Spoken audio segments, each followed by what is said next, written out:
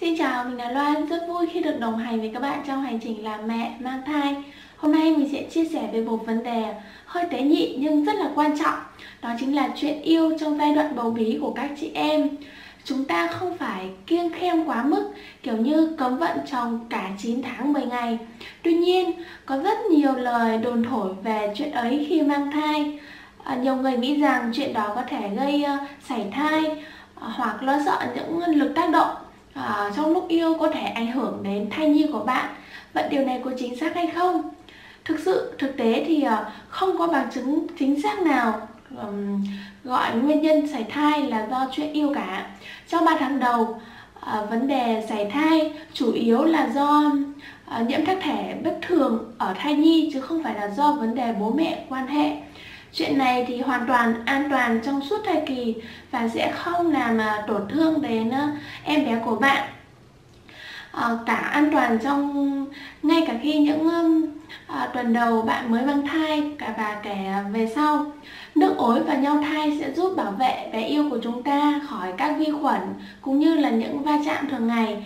Do đó, à, bà bầu có nên quan hệ trong 3 tháng đầu hay không? Câu trả lời cho các mẹ là có. Chúng ta cần phụ thuộc vào sức khỏe của mẹ và của em bé. Trong 3 tháng đầu thì có nhiều chị em cảm thấy mệt mỏi do buồn nôn, do ốm nghén và không có nhiều ham muốn trong chuyện đó. Nhưng ngược lại thì có rất là nhiều mẹ bầu à, lại có nhu cầu tăng cao trong vấn đề này. Có thể là do à, hormone thai kỳ à, tăng trưởng mạnh cơ thể các mẹ sẽ kích thích hơn. Ngoài ra thì lúc này cơ thể bụng bầu vẫn còn à, nhỏ nên à, vợ chồng chúng ta vẫn có thể quan hệ dễ dàng. Tuy nhiên 3 tháng đầu đây là thời gian giai đoạn thai nhi bắt đầu hình thành nên ba mẹ chúng ta cần hết sức lưu ý à, quan hệ nhẹ nhàng tránh à, thô bạo cũng như là à, ừ, quan hệ lâu quá. Đến 3 tháng giữa thì chuyện yêu đối với các chị em chúng ta à, vẫn còn thoải mái hơn. Lúc này bụng bầu thì à, mới phát triển thôi. Nhưng đến những à, sang những tháng cuối do thai nhi to lên thì làm cản trở quá trình này, làm giảm nhu cầu của các mẹ. Theo mình thì chúng ta nên hạn chế và tạm nghỉ trong tháng cuối. Trường hợp đặc biệt sau đây là một số trường hợp đặc biệt các chị em chúng ta cần nhớ kiêng quan hệ tình dục đặc biệt trong 3 tháng đầu. Đó là với những người có tiền sử sảy thai hoặc có nguy cơ các dấu hiệu ờ, sảy thai đau bụng khó chịu à, chảy máu âm đạo hay là hay bị chuột rút.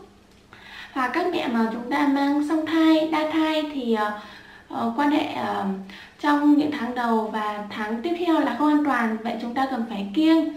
Còn đối với các uh, mẹ bầu khỏe mạnh thì chúng ta hoàn toàn có thể uh, Ờ, uh, làm bình thường điều quan trọng trong cuộc yêu của các mẹ đó chính là cần uh, lắng nghe cơ thể mình lắng nghe cơ thể mẹ bầu và cởi mở hơn đối với uh, với nhau cái tốt nhất là chúng ta cần nhẹ nhàng, âu yếm và giữ một tâm trạng thoải mái nhất cho các mẹ. Lựa chọn những tư thế để các mẹ bầu cảm thấy dễ chịu, thoải mái hơn. Chúc các mẹ có một thai kỳ khỏe mạnh và an toàn. Đừng quên đăng ký làm mẹ channel của mình để cập nhật những chia sẻ mới nhất và nhanh nhất nhé.